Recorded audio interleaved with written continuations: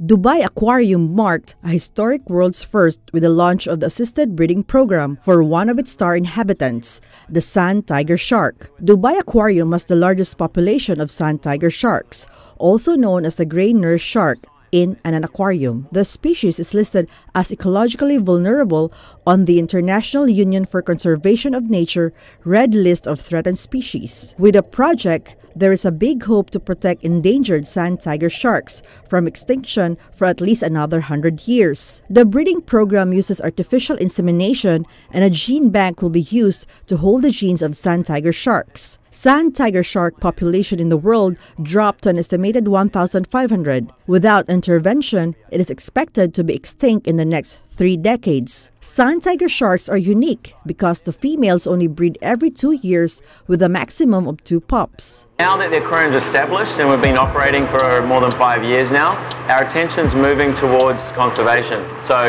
what we want to do is be a, uh, a cornerstone of the, of the animal world and, and play our part in learning about the, the, different species and what they need to reproduce and survive in the wild. So this is certainly a new phase for us and we're looking forward to uh, making our contributions to conservation.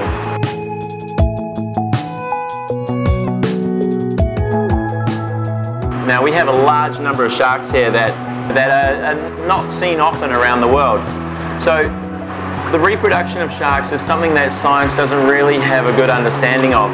And shark populations worldwide are declining and understanding what a shark needs to reproduce is, is critically important. So we're starting work on some projects like a shark artificial insemination project where we can learn the reproductive cycles and exactly when sharks need to mate and gestation periods and try to create the entire cycle here inside the aquarium.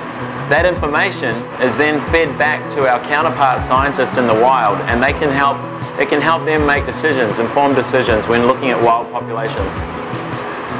One project in particular that we're working on is Carcharias taurus, or the sand tiger shark. Now in some parts of the world, this shark is critically endangered.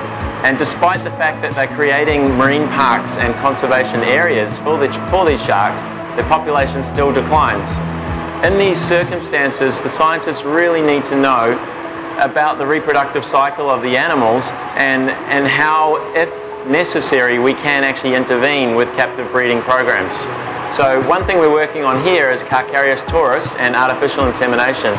Scientists from Australia, where the, where the sand tiger shark is critically endangered, are actually flying to Dubai Aquarium and they'll be spending months with us working with our animals and trying to create that understanding. A cryogenic lab has been set up to support the program and visitors will be able to see the work being done and the behind-the-scenes operations of the aquarium. The long-term project will develop technology that could eventually be used to artificially inseminate various species of sharks. Irish Eden Belieza for Gulf News.